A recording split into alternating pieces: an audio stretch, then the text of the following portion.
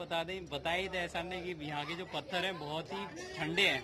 इन्हें देख के ऐसा लग रहा है जिसकी मैं अपने अगर घर घर लगा में तो लगा रात में बेहतरीन गर्मी में नींद आए। एसी की ज़रूरत नहीं पड़ेगी इसमें। आप ये इतना इतना ठंडा है सही में ठंडा है हाँ, कि बहुत आप बहुत गर्मी भी होना फिर देख भी सकते हैं इसको आप तो खैर नहीं छुपाएँगे हम जो तो हैं, देख सकते ठंडा दिखा रहे हैं। हाँ तो ज्ञानी बाबा फिर से हाजिर है अपने कुछ बताने के लिए ये व्यू आपको जो दिखा रहा हूँ वो व्यू देखिए। थे ये तो बहुत बड़ा गेट है। बहुत बड़ा गेट है बहुत बड़ी मतलब क्या लिखा हुआ है इसमें? और इसमें रूबीज पत्थर का यूज़ किया गया आप देख सकते हैं जितने भी पत्थर लाल और हरे ये, येलो दिख रहे हैं? ये छोटे में सही दिखेगा व्यू हाँ। है? ना ये ये जो लिखा हुआ है इसमें छोटे में जो लिखा हुआ है। इसमें आप जो सामने देख रहे हैं ये भी अरेबिक में लिखा हुआ है। मतलब पूरे टोटल ताजमहल पे अरेबिक में पूरा कुरान शरीफ लिखा हुआ है। उसमें जो पत्थर का यूज़ हुआ है जो नक्काशी में लाल पीला हरा नीला सब रूबीज पत्थर है।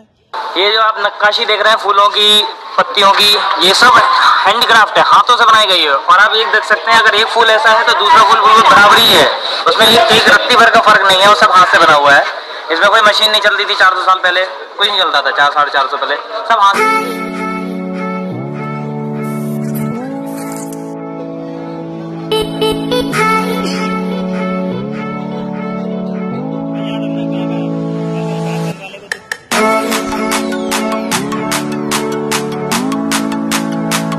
फोर्ट में। इसका फुल नाम था जलालुद्दीन मोहम्मद अकबर। और ये अकबर अकबर ने बनवाया था एक फोर्ट और हम लोग उसमें एंट्री कर चुके हैं। आप ये देख सकते हैं कि ये बिल्कुल इस तरीके से बनाया गया सिक्योर है कि दूसरे लोग जो जो दुश्मन लोग मतलब इधर के जो इसके जो गेट है ना एंट्री गेट वहाँ जिगजैग टाइप के हैं कि डायरेक्ट जो दुश्मन है एंट्री नहीं कर सकते। नहीं कर सकते डायरेक्ट इसलिए इसे जिगजैग टाइप के गेट बनाया गया है।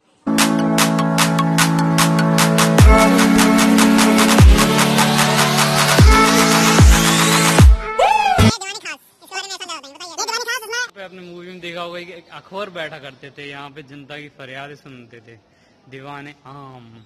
ये वो संग मरमर का वो है, बैच, जिसको कहते थे इसके ऊपर उनकी कुर्सी रखी जाती थी, जिसमें अकबर बैठा करते थे।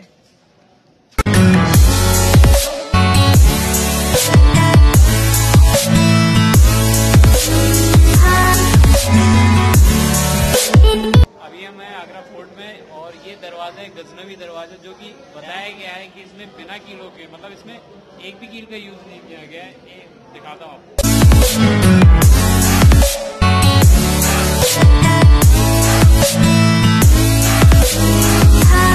ये है दीवाने खास।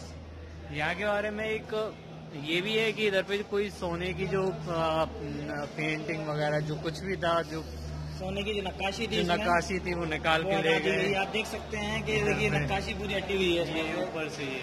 ये देखिए आपने हटाई गई है।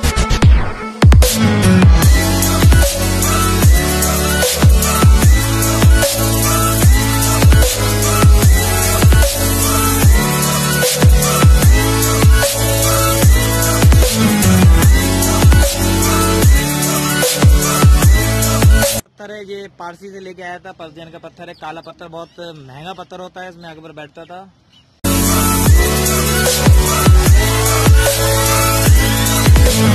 Oh.